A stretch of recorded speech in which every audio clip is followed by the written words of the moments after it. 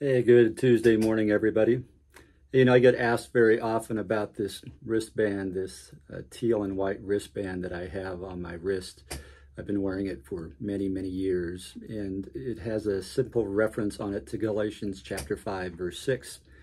And the reason I wear it is it's a constant reminder to me of, as a Christian, how should I uh, look at the decisions I make in the course of life as far as how I demonstrate love to others. And in Galatians chapter 5, Paul is talking about the freedom that we have in Christ Jesus, and we shouldn't hold people to the law or we shouldn't place unnecessary restrictions on them. And he says this in, in verse 6 For in Christ Jesus, neither circumcision nor uncircumcision has any value. The only thing that counts is faith expressing itself through love. So he's saying all that debate about those things that the early church struggled over could be put aside if we would just express our faith through love. And so the little wristband I have says, What does love require of me?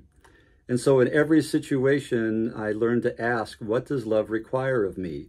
Because when I do that, it causes me to slow down and ask God for His wisdom of how I should handle a situation, what words I should use, what actions I should take uh, to make sure that the ultimate goal is to demonstrate love to uh, a person or love in a situation or just really show Christ to the world around me as I live out my life. I my faith is expressed through my love and how I treat others. And so I ask myself all the time, what does love require of me? And sometimes I struggle with that because there's this other part of me that doesn't want to do what's lovely.